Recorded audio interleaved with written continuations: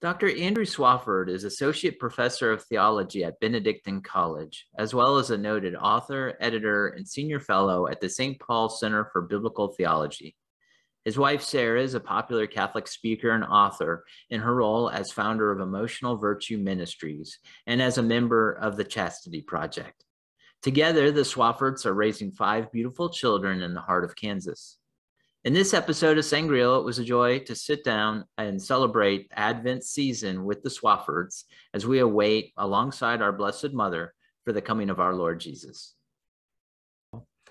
So, Andrew and Sarah, thank you both so very much uh, for talking with me today. Uh, we're going to talk about two of uh, our favorite subjects, the Eucharist and our Blessed Mother. And uh, I know um, you know right now is kind of a it's a special time and it's a busy time of course for families with advent but uh, i appreciate you both so much so thank you yeah, Thanks for you. having us, Paul. It's great to be with you. Absolutely, absolutely. So, um, to start us off, I've got a question for both of you, and then we'll just kind of go back and forth. But uh, this one's for both of you, and and you know, so you, Andrew, you can uh, you can start, or Sarah, you can start. But the question is, you know, here we are in this time of Advent and uh, preparation for the coming of the Christ child. Can you both speak to how we might use this time to reorient ourselves to have holy families and holy marriages? And how can Eucharistic devotion aid in that? Mm. Mm, that's beautiful. I love that. You can go first. No, I going first? yeah you know, I mean, this, uh, not to go abstract, but uh, the whole liturgical life is to enter into Christ's life, right? So, and you see the seasons where, you know, in Advent, we were reliving Israel's story and the, the longing for Messiah. And, uh, you know, the Eucharist, I mean, I love the quote from Irenaeus that uh, the, the, Eucharist confirms our way of thinking and our thinking is attuned to the Eucharist because it, that's, it makes our faith a living, present reality. Talk about the presence of God, be mindful of the presence of God. Mm-hmm. Uh, in the Eucharist, you know, the Paschal mystery, the life, death, and resurrection of Jesus Christ, his the mysteries of his life, they're not the past. They're right here in the present. So I think the challenge for all of us is to slow down, mm-hmm. slow down, take a deep breath, and realize the wonder before us. Mm-hmm. That uh, the veil through which we you know pass to the other side of heaven is right before our eyes, and and Advent just kind of reminds us these truths that we already know. Yeah, I I love what he just said, and it's so beautiful, and I think one of the things that um, I really loved. I had a spiritual director one time ask me, So, what are you giving up for Advent? And I was like, I'm sorry, what? Because like I was thinking, like, like, isn't that Lent where I have to like, you know, pray and do all these things? And she's she was like, Yeah, but Advent is a time where you prepare, you're preparing as well. So um, she would always encourage me to add something and subtract something. So Advent was kind of like what's one thing you want to add to your life of prayer and like to your life of, of holiness? And what thing you want one thing you want to subtract that keeps you from that life of holiness? And so i actually find advent harder to fast during than lent because lent everyone else is doing it with you. Whereas advent is like bring, bring on the the wine and the cookies and the fun. And oh, yeah. i found it i have found it to be really hard um, to fast during advent. And so just i mean for for even that to be like okay what are my attachments and what are my things that even you know even it's not a matter of um like I'm, i've been trying to add an extra 30 minutes of prayer to my my day. And i find that harder than even just giving up cookies and cake because it's like oh my gosh like where is this extra half an hour going to come from during this busy time? And so i think like you said holy families you know the eucharist all those things it's, it's really making space um, for a eucharistic like worldview. I mean that's one of the things we love the most about being married, we actually, when we uh, started dating and when we got engaged, we hmm. were both college students here at Benedictine College. So we're we live right across the street from Benedictine College in Atchison, Kansas, and Andy is a professor there. And um, so when we started dating our junior year of college, one of the things we used to joke about was um, Dr. Shree is one of our professors, and he used to talk about um, telos, like Christian end goal, like telos is kind of like, you know, the end of your goal, the end of your, the meaning of your life, like heaven. Mm-hmm. And so we used to joke that one of the things that like attracted us to each other was having the same telos. And I just think that, that when we think about our lives, like the Eucharist, like Christ, you know, just like Swaf said, you know, Christ is, you know, the way, the truth, and the life, the beginning, the end. He's the Alpha, the Omega. He's all of those things. And Advent just helps us to reorient our families, our marriages, our lives not only back to it, but um, where it should always be. But sometimes you, I mean, the church is genius, genius to have seasons because we get kind of comfortable and we get kind of doing our normal thing. And it's like, it jars you. It's like, yeah, you're doing great, but what can we look at? You know, what can we go deeper with? And how the, the, the seasons really help us, I think, to pray and, and kind of figure that out. So I think entering into that as a family as well has been really great. For sure. Oh, that's awesome. And you know, I mean, yeah, I think you really touched on something, Sarah, too, in terms of the the need for quiet and kind of in a sense entering into that secret life of Mary, right? You know, so she uh I remember a, shameless name dropping here, but I talked with Dr. Miravalle and he was talking about he was making the point, Mark Miravalle, about you know, Mary, it's like you think about it, you go to mass, you have the Eucharist, and Jesus physically is in your body, you know, for a short time. But Mary had Jesus within her body, like a living tabernacle, of course, for like nine months, right? Mm-hmm. You know, so it's like constant, the, the Eucharistic presence was constantly with her. And so, you know, you think about this time of Advent, and I'm with you, Sarah, you know, it's like giving up stuff for Advent, what, you know, and, and, uh, that was kind of a new concept for me, but I can see the genius of it, you know, in mm-hmm. that turn, in that sense of trying to enter into the silence of Mary, the con- mm-hmm. contemplative heart of Mary, you know, mm-hmm. and uh, and and where that directs us, because I think ultimately that's how we can recognize the supernatural in our lives. Um, and I'm the worst at it, and my wife will tell you because I'm just like a constant noise and music and it's go go go, but it's mm-hmm. that that silence is what allows God to speak to us. So, mm-hmm. Amen. Now, Sarah, you know, kind of riffing on that, can you share with us your thoughts on Mary's maternal example, on her role in bringing to us the true God and the true man? Yeah. Yeah, well, it's it's really neat to be. Um, I always love it when people ask me about like Mary, especially in connection to Advent, because I have been pregnant with almost all of my babies during Advent, which is, I don't know why that just seems to always have timed up right.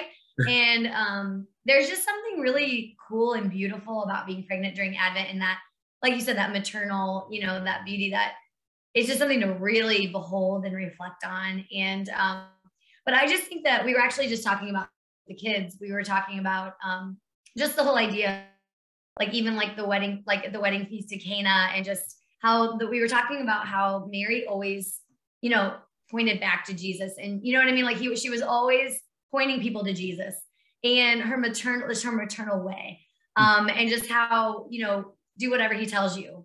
I mean, it's like pointing, pointing, pointing, do whatever he tells you, and then let me protect you, be your mantle, be your consolation, like your beautiful picture, you know, let me be these things for you in a way like with a maternal heart um, and so I, I just really love that. I, Swaf and I are big fans. Our family is uh, big fans of The Chosen, the, the new Chosen series that um, has come out on the app, the Chosen app. Go get it. You won't be disappointed. Um, a family, good family, you know, friendly type film, which is really hard to find mm. as we have five children, 15 to two. And so to find something that everybody enjoys hmm. has been really, I mean, it's wonderful, right?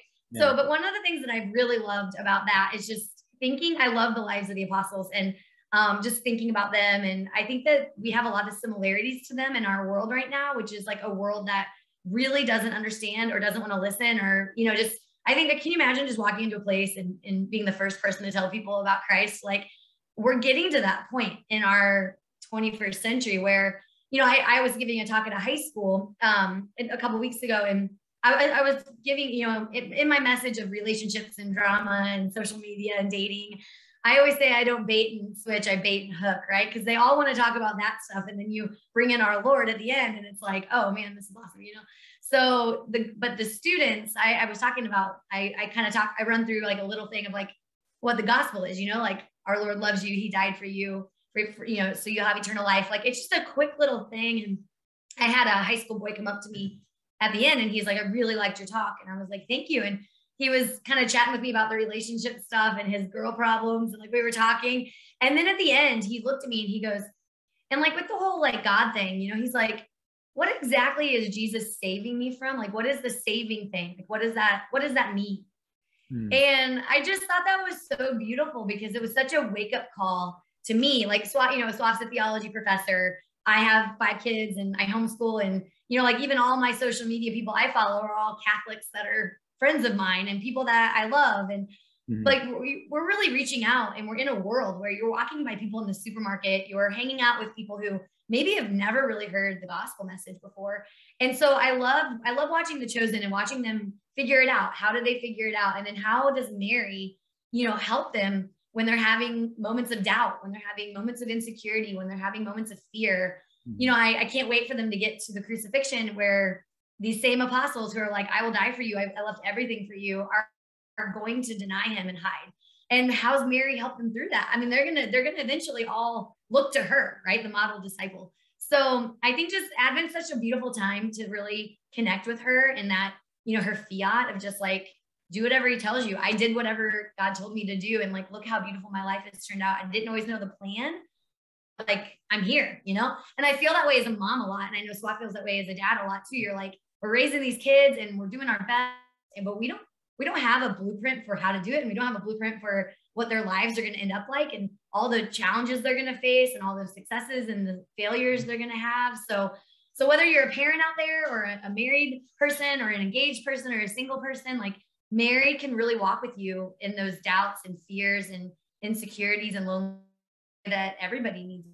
No, absolutely. You know, and it's, I mean, you really, you triggered a thought because, uh, you know, we tend to, I, I'm sure, you know, and I know, I'm sure y'all do. And I know like for our family, you know, you tend to kind of run in the Catholic bubble and you kind of assume everybody just understands the basics of the gospel and then they just kind of right. they're choosing to accept it or not, you know, but then when somebody is like, what am I being saved from? Like, like the concept of sin is just something that you know he doesn't you know and it, it's like i mean my goodness you know so there's a, there's a lot of catechesis that can be done but you know of course our blessed mother you know i mean what a great gift that she is to us that christ gave to us of course you know on the cross. His last gift really before he died you know is to give us his mother. And you know how she like St. Louis de Montfort says, you know, she's like the surest, fastest, easiest way mm-hmm. to sainthood, you know, is follow mm-hmm. her example. It's humble and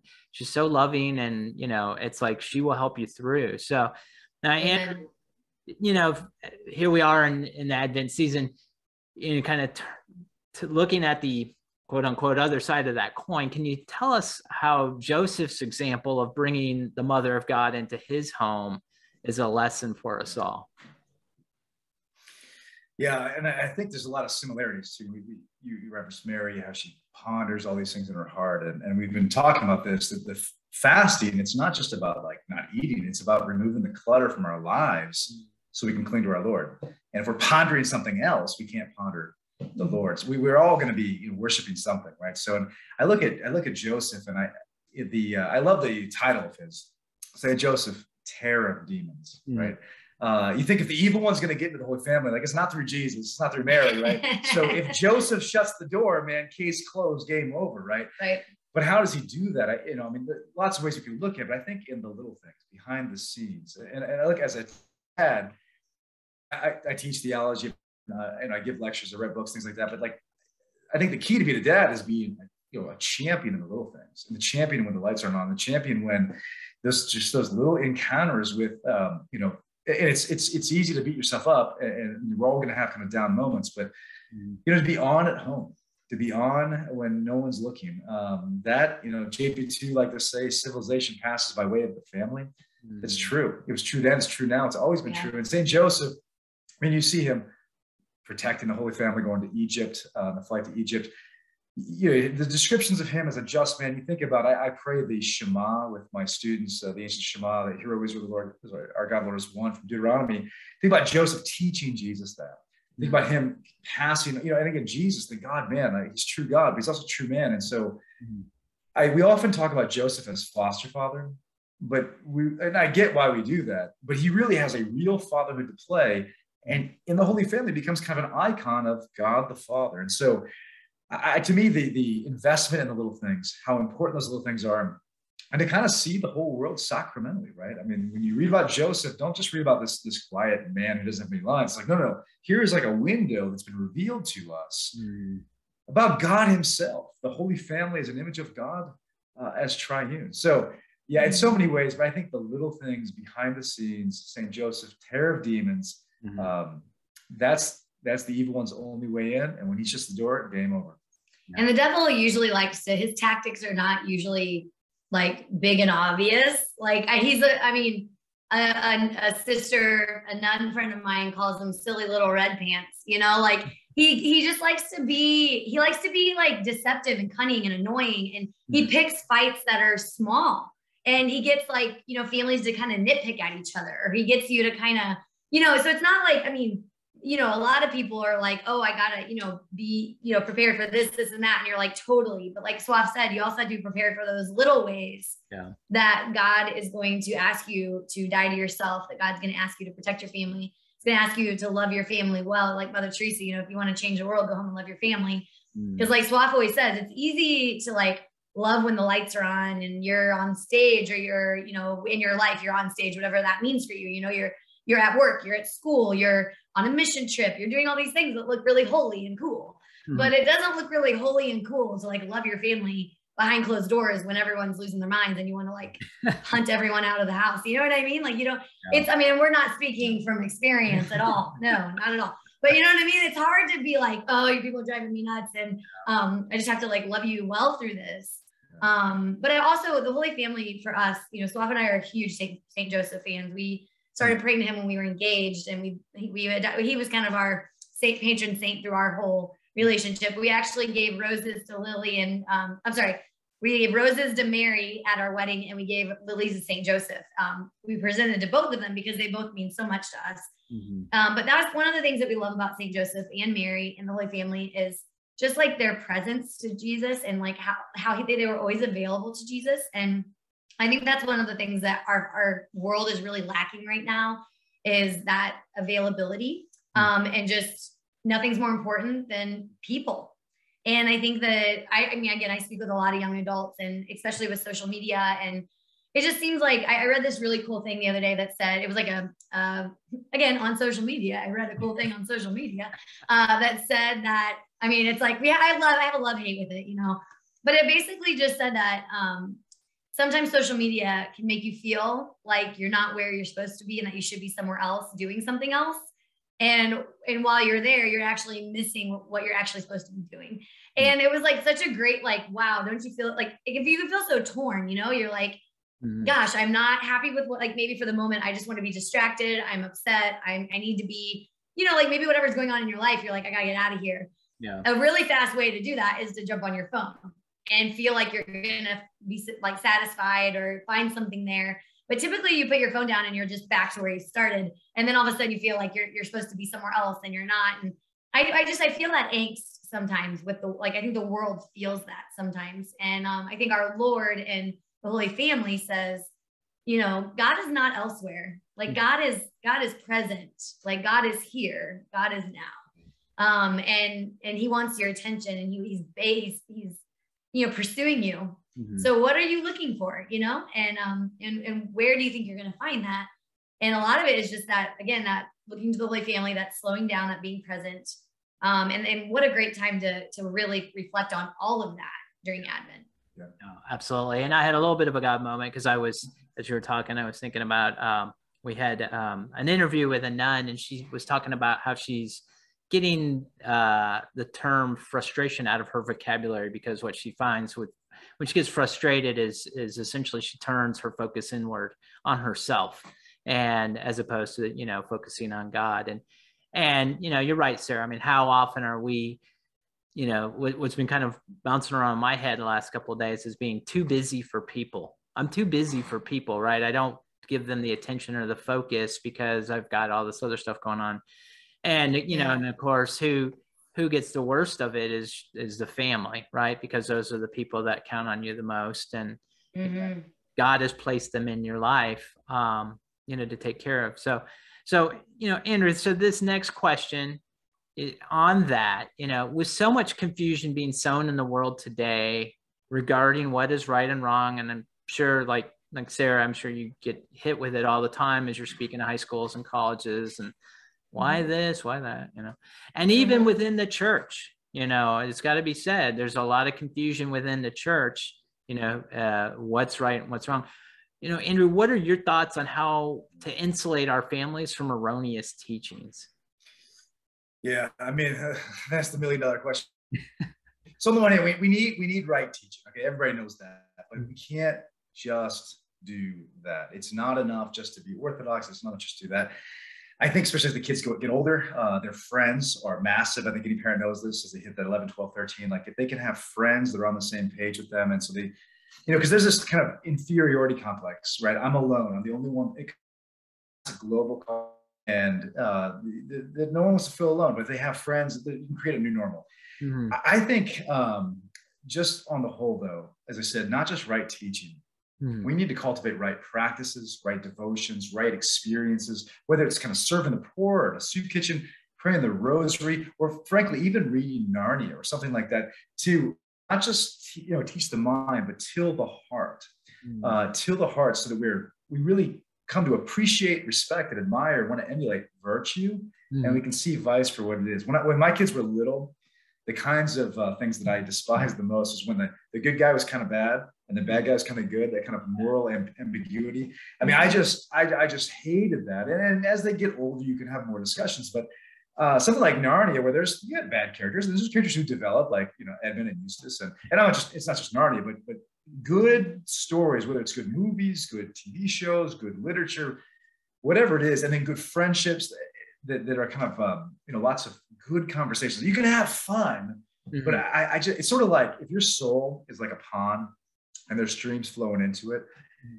If those streams are dirty, you're going to have a heck of a time keeping that pond clean, right? So what's flowing in downstream, not just like intellectually, but what's forming my mind, my heart, my conversations, my friendships. I think the game is, I don't know. I mean, I don't know, 80% played right there because that tills the ground for catechesis to stick.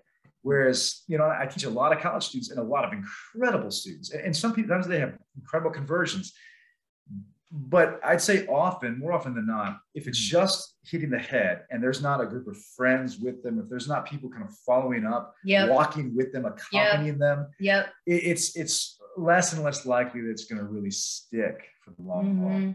Well, and you think about, I was just thinking about what he said. We love talking about this. Is um like the he said the global. You know what was so different about 100 years ago or 150 years ago is you lived in a town mm-hmm. with maybe 100 people. And those 100 people, you know, typically most of them probably have the same somewhat moral beliefs as you, you know, probably had a very similar even faith background as you, you know, even if you were maybe a Catholics and Protestants and, you know, you may, but you still have kind of the same worldview of like virtue and ethics and things like that. Um, but like Swaf just said, now with social media and media and just in general, you you feel like you can feel like I live in my house. I don't know my neighbors. I go to church maybe 30 minutes away. I go into church, I walk out of church. Mm-hmm. I have no friends that are Catholic. I don't really have my family doesn't really practice. Um, you know, I don't really know what I believe. Like most of my friends don't believe what I believe. I don't even know what I believe. The church says this, but I have no one that's really going to talk to me about that. So I'm I mm-hmm. mean, it's just so easy, I think, in our like, especially as you're raising kids or just, you know, even your own mind, yeah. It can be so easy to feel alone and feel like i don't even know where to go for answers anymore because there's so many different points of view. Whereas i think it was a little easier 100 150 years ago because i mean if you wanted an answer you just walked the in town one or you know it's just like everyone kind of breathed the same air. Whereas in our day and age i mean that's not that's not true at all. Yeah. and so when you said how do we kind of protect our families and stuff it's like you i mean there's no way there's no way that we're going to be able to you know, the walled city thing. I mean, you're, you're, there's just people are still going to come and go, and that's just not our society anymore. But that means we have to be even stronger, like Swaf said, on this intellectual heart, the heart, the mind, and the relationships, the friendships, whether it's, you know, families that we run with. And, you know, it's like, well, like our kids, we run with, you know, a bunch of couples and with their kids. We have them over and we hang out and we're like, well, at least they know that there's other, there's five other sets of crazy radical parents that don't let you get don't let you do what they don't get to do either. You know, I mean, at least they know that mom and dad aren't the only crazy ones that don't let them have, you know, X, Y, and Z. Um, does that make sense? Like, I don't know. I'm just trying to say, I think it really has a lot to do with those relationships. I mean, Swaf is hitting it right well, on. And for the parents out there, I mean, don't don't beat yourself up and say what if if if you know because anything can happen and i think surrender to the lord yeah. pray to saint monica Mhm. uh, and just wherever wherever your kids are whether they're grown and gone or or the struggles right now just how can i make this one level up how can i move one level closer how can and keep that line of communication open Mhm. and play the long game Yeah. because lots of lots and lots of things can happen. Uh, and I know we all know this, but it's it's easy to kind of beat yourself up and say hindsight's twenty twenty should have been this, this, and this. Just focus on the present uh, and how can I how can I bring them at least one level up from where they are. Right. Yeah, and I think it's the challenge is you want to. We live in an age, you know, uh, where you want to be able to walk with people, and you want to meet them where they're at, right? Because that's what a loving heart will do, is to try to meet people where they're at. But you can't leave them there, you know. So it's like Right. the loving heart is actually going to be, hey, you know, there is a better way. There, there's a better way. Yeah. Yeah, I don't have all the answers. Like I'm a messed up person too, so I'm not trying to Mhm. judge you, but I do know in my own walk that when I went this way, it wasn't working for me, and when I decided to go this way, it got a- Right, right, right. Right. you know. So and do we love them enough to speak the hard truths? yeah, I mean, that's the, that, that's as, as fathers, as mothers, with, with my students. I mean, every every teacher, every preacher, every parent, you want there's a temptation you want to be liked. Mhm. do I love them enough to speak their hard truths? And I think the challenge for us, especially today, is to raise kids with conviction, Mhm. where, where they, I mean, they, they, they, they know the truth in their head and their heart, Yeah. yet they're comfortable in their own skin in season out of season. What I mean is, can, can they be themselves in a different environment? So they might, there might be an echo chamber, there might be kind of a, you know, a, a kind of a sheltering uh, when they're younger. Mhm. Will they be confident in their own skin when they leave that? And can they navigate the world and, and not hate the world? Mhm. Not hate the world. Not be scared uh, of it. Not, not be scared of it, not hate it, and maintain conviction. Yep. I think that's the great challenge. It's almost like if you're going to get along with the world, you got to you know throw your conviction Yeah. at the door, right? Or or you just kind of ghetto and you just say I hate the world and I won't talk to anybody else. Ghetto. And I, I, I, Join a gang. that works for a while, but I just don't think the law. And, and, and it doesn't work forever. you know, and a, yeah. a priest friend said this, like, we'll change the culture when your grandkids are Catholic. And so I just don't think the kind of super defensive mentality is going to work for more than one generation, even- even one. So I think to cultivate conviction yeah, um, that doesn't that doesn't just play the us and them game. Yes. Uh, There's always there a little bit, but um, that has the confidence to just run to Jesus and not be afraid of the world and not be insecure, because insecurity is what leads to defensiveness often. Yeah. well, and it's I again I point back to our Blessed Mother because her example, she's so gentle, right? Yeah. That it, it makes it so much easier to just be like, just go to Mary, you know, and invoke Yeah. Right. Yeah. Yeah. Yeah. you know the mother's touch you know and it's like it, it doesn't come across quite as you know maybe as judgy or or whatever because then it's Right. like it's love and it's saying yes Yeah. to god and starting there yeah. Amen. yeah so um i know uh i you know uh this this last question I, i'm going to ask you both uh and i'm being respectful of your time so i know we've, we've got a lot of family obligations and stuff so i want to yeah. I'm, I'm, Crazy. I'm yeah i'm trying to watch the clock but um No, you're good. my last question is for both of you is what is your wish for this christmas season and as we prepare for the new year Oh, that's so good. You gonna go first? Here we go. Sure. You know, I, I mean, we've talked about it a couple times, but I think um, slow down. I it's just kind of a firm opinion of mine that the cause of secularism, not just out there, but like in my own part, is busyness. I, I just think it it suffocates, it chokes the seed of that word, the, the growth of that seed, as our Lord in the parable. When I have a student who's struggling with their faith, sometimes I'll ask, you know, when was the last time you looked at the stars at night?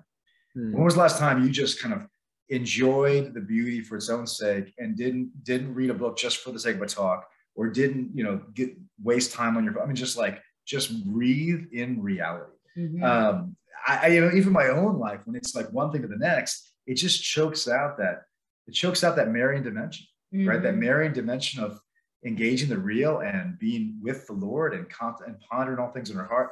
Mhm. I I just think if we can do anything, we'll do so much if we can find a way to slow our hearts down, even if our lives keep the same pace they are.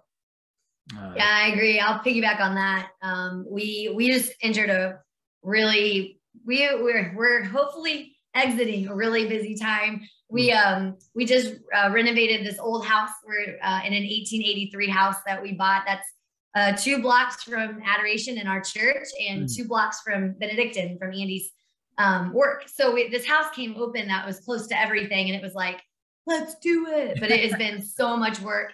Um, so anyway, it's just you know busy when you remodel, and then COVID hit, and it was like even harder. So and then last week, um, our rental house, our old house, we started renting out to college students and we had a house fire. Um, the dehumidifier caught on fire and it like burnt our plumbing and our electrical and our HVAC. And so the girls got displaced. And it has just been one of those like, like I'm sitting here talking about all this and it's like we're talking to ourselves, right? You know, like I mean, this is one of those seasons that are busy. Yeah. So one, one of the things that I've been my wish for Christmas break and what we've been praying about a lot is just like not letting good become the enemy of the best. Mm. because there's so many goods in our life. Like Swaf and I are so blessed. Like we have so many goods and you know, like for a lot of people out there that are feeling lonely and you know, things like that, it's like I just want to give them some of my friends because I have so many amazing friends. But I also feel like, you know, it's hard to say no. It's hard to say no to to things that are fun, things that are great, things that are exciting. It's it's hard to say no to opportunities or when our kids are like, let's do it. I'm like, we do not have time to do it. You know what I mean? Like there's so many great things, but but we're really praying through not letting good become the enemy of the best because I think that our Lord, that's, and you have to pray to know what is best because mm-hmm. everything looks good. And so that discernment is really important. And so I think busyness, like my prayer for Christmas and Advent is just to, to you know, tone it down so I can hear the Lord better um, and really take time to, to quiet my heart so that I can hear him more clearly.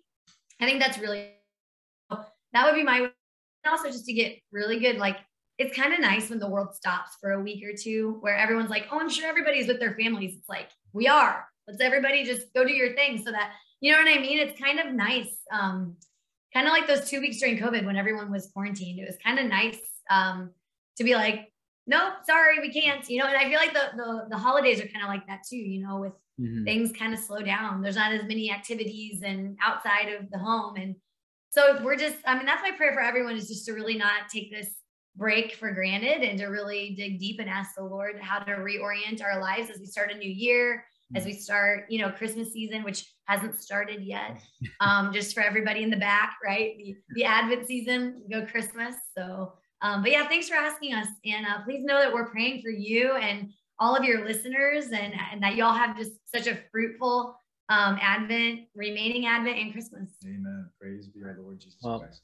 Well, Andrew and Sarah, thank you both so very much. I really appreciate it. Uh, it's been a, a, beautiful time to spend with you and uh, blessings and prayers for you and the Swafford family. And thank you so much. Thank you, Paul. Thank you, Paul. God bless you. All right. You too.